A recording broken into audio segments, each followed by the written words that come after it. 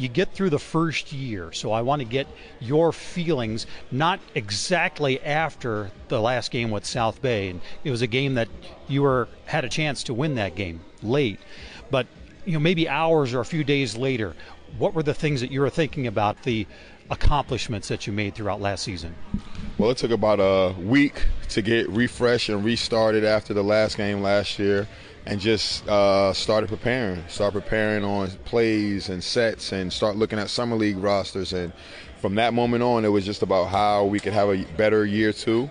And it started about a week after the last game of uh, last year when we played South Bay.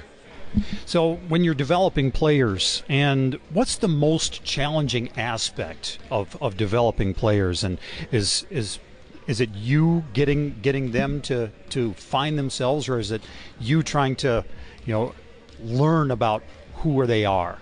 You know, I try to do a good job of being with them in the summertime to kind of find out who they are. Um, when they get here, you know, they just kind of hit the ground running. And I think, you know, once we get them bought in to just playing together, you know, I think once everybody comes to the minor leagues, the G League, they're trying to look for numbers for themselves. But once you get them bought in to playing the right way and playing together, that's when you get the most call ups and the most successful uh, season possible. So that's what we're looking to have. What about the assistant coaches and, and what things that you can do as a head coach to develop Ronaldo and Therian and Nate and, and what they can do to help this organization? Well, you already could tell just from this year, there's been a big jump in their uh, development and, you know, just their progression of their career where they're at right now. So, you know, I'm proud of how they've come along and what they've been able to do. And uh, just going into year two, I'm just more comfortable with having them be able to, you know, do different roles and delegate stuff to them. So, you know, that's a perfect mixture between us and them that between myself and, and uh, assistants that, that just makes a great staff.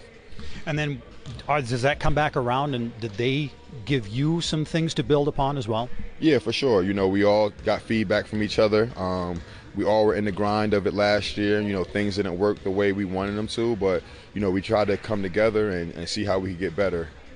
What have you been able to, to take into year two? And, and you mentioned summer league and, and being able to get to know the players a lot better. Was that a little bit better launching position? Do you think?